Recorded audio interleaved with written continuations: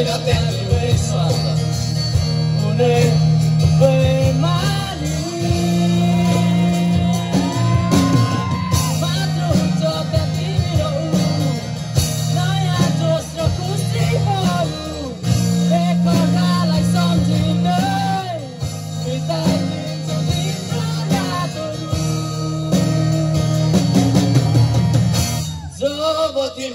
my.